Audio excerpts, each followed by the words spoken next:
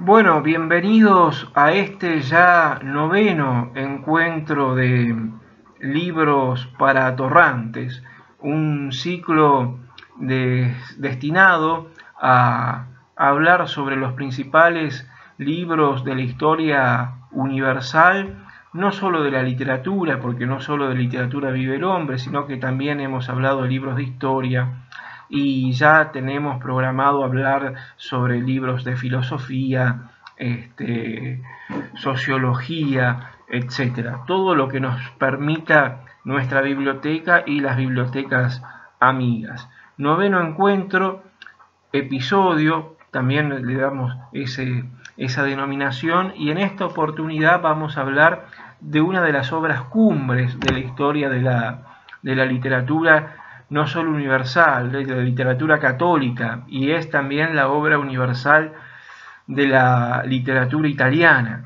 Y ya, ya, te, ya te podrás haber dado cuenta, y creo que algo pudiste ya olfatear o ver, que es la Divina Comedia de Dante Alighieri. Sí, hoy vamos a hablar de la Divina Comedia, este, considerada, ¿no es cierto?, la, obra máxima de la literatura italiana y una de las principales, si no la principal, de la literatura universal. Está al menos en el canon de esos libros.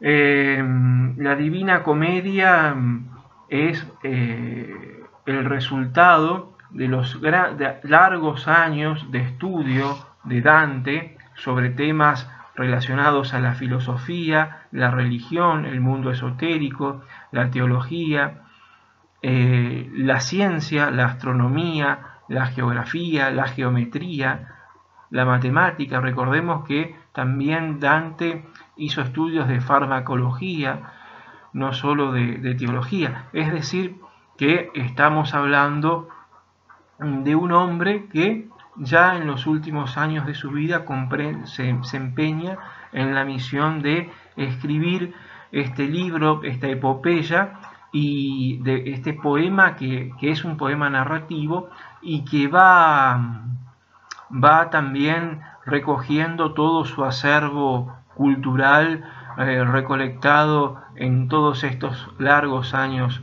de estudio. Eh, Dante nació en Florencia, eh, su patria, y en el 1265 y murió exiliado en Rávena en el 1326, este, 1321, bueno, los distintos, creo que en el 1321 es la fecha exacta de, de su muerte. Este, porque hay muchos investigadores, eruditos, estudiosos que difieren sobre las fechas.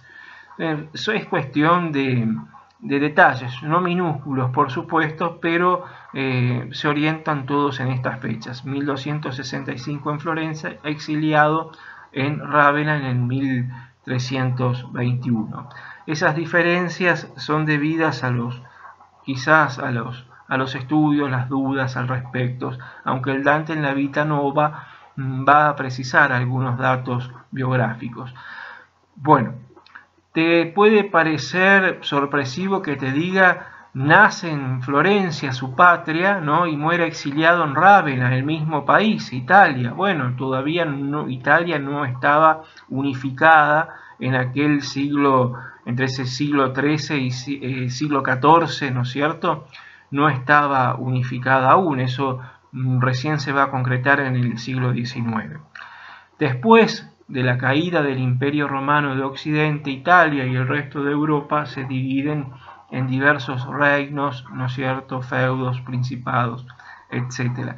En Italia la unificación costó, cada zona, cada ciudad, estado se hacía la guerra entre sí y entonces, claro, Vos podías nacer en una ciudad y podías después, si un partido político adversario al tuyo eh, se hacía dueño, se, adueñaba de esa ciudad, te tenías que exiliar.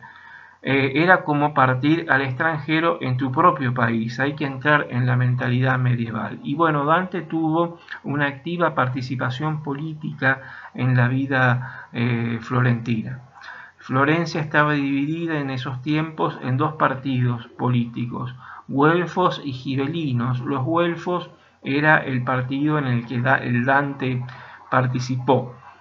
Eh, después los güelfos se dividen en blancos y negros, hay una subdivisión. No sé si esa interna te hace acordar ah, hacia grandes rasgos a la política argentina. La política es justamente partición, por eso de ahí vienen partidos políticos. Bueno, eh, resulta que Roma, el papado, eh, quiso invadir Florencia, Dante se opone, inicia una misión diplomática en Roma, corre riesgo su libertad, su vida, etc. Y comienza un raid por las ciudades italianas y finalmente muere en Rávena exiliado de, su amada eh, Florencia. Eh, la Divina Comedia em, fue escrita en la lengua vernácula, ¿no es cierto? Florentino, allí en, la Toscana.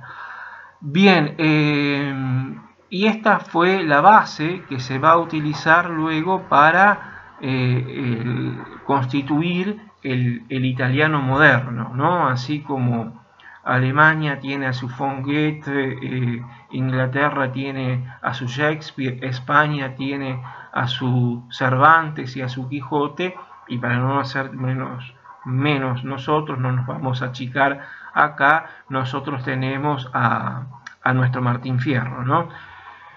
Y se constituye de esta forma el poema de Dante, la Divina Comedia, como el poema nacional ya en el siglo XX de, Italia y va a ser utilizado como la base del, italiano moderno, tal como lo, conocemos este, actualmente. Cabe destacar, ah, y antes de que me olvide, amigas y amigos me dijeron, vos nunca te presentás. No, porque no lo considero necesario, considero que son más importantes los libros que yo. Pero bueno, si me lo piden me presento. Mi nombre es Ariel Gay, soy licenciado en Historia y me dedico a promocionar libros en, estos tiempos de, COVID y en estos tiempos en los que eh, creo que es necesario hacerlo. No te, te doy, te tiro ítems, puntos este, muy, muy, digamos, este, claves ¿no es cierto? Para que vos después puedas analizar los libros que aquí tratamos en mayor profundidad y estudiarlos, analizarlos tal como se te pidan en unos exámenes o, para, ¿no es cierto?, satisfacer tu curiosidad, ¿no es cierto? Nada más que eso.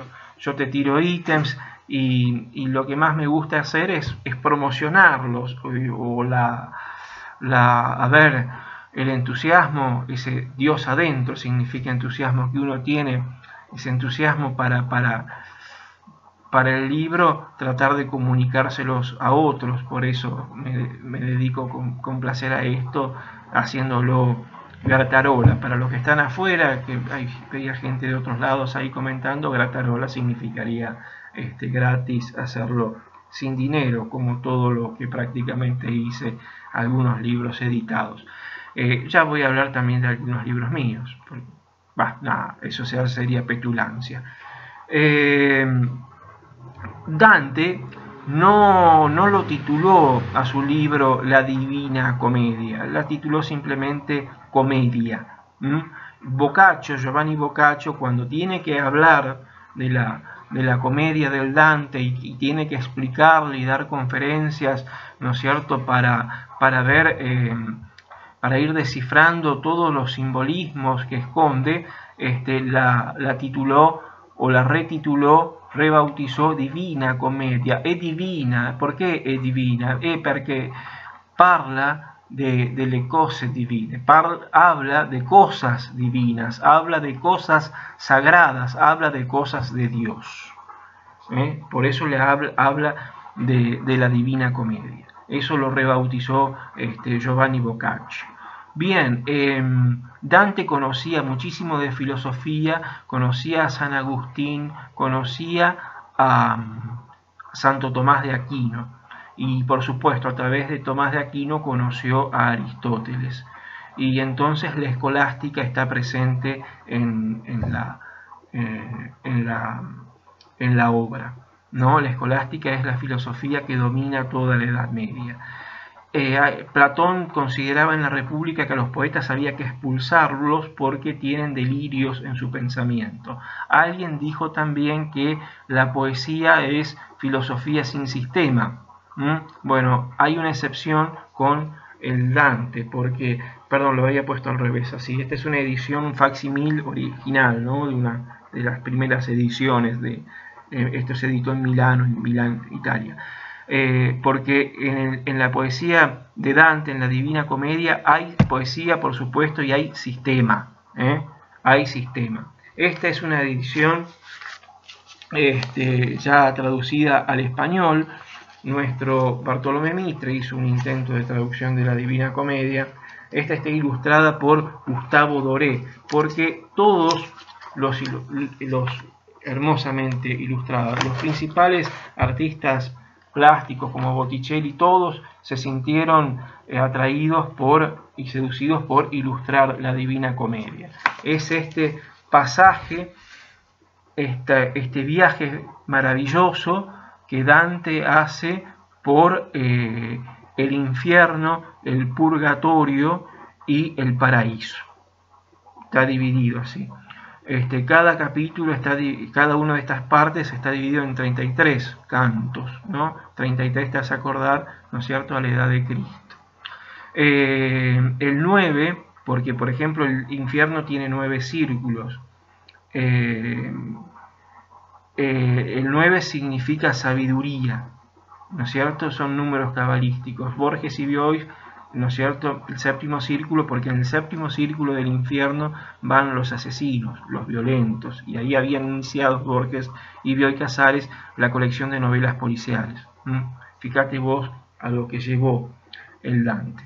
Virgilio eh, lo encuentra en la selva oscura y lo, lo quiere conducir hasta el paraíso donde está Beatrice. ¿Quién es esta Beatrice? Beatrice, Beatriz Portinari, Beatrice Portinari era un amor platónico de, Dante. Existió y él la conoció, eran muy jovencitos cuando se conocieron y siempre estuvo enamorado de ella, pero con un amor este, platónico. La lo va a acompañar Virgilio, que significa, el poeta latino romano, significa la pureza antes de Jesucristo. Y al empezar la obra, mira cómo empieza aquí en este lenguaje vernáculo, nel mezzo del cammin di nostra vita mi ritrovai per una eh, selva oscura che la diritta via era amarrita a quando a dir qual era e cosa dura esta selva selvaggia e aspera e forte Mira la traducción. La letra es chiquitita, por eso me, costó mucho leerlo. Y en la traducción, a mitad del andar de nuestra vida, extraviado me vi por selva oscura, que la vía directa era perdida. Ay, cuánto referir es cosa dura de esta selva, lo espero, agreste y fuerte, de que aún conserva el pecho, la pavura, etc. Bueno, eh, otro de los números cabalísticos es el 3, la Santísima Trinidad, Padre, Hijo y Espíritu Santo, que se unen a los cuatro elementos eh, de la naturaleza, aire, agua, eh, tierra y, fuego. Entonces forman el 7, los siete pecados capitales. allí en, en el infierno, por ejemplo, Dante pone hasta papas que a él no le gustan y a políticos que fueron sus adversarios. Hay ficción también, por supuesto. Y llega finalmente al paraíso donde está la gloria de aquel que todo lo mueve, ¿no? Ahí está el motor, eso de lo que el motor universal que es Dios que nos mueve a todos. De ahí que la escolástica esté presente en la Divina Comedia. Beatrice, la musa. Esto se cierra. Chao, chao.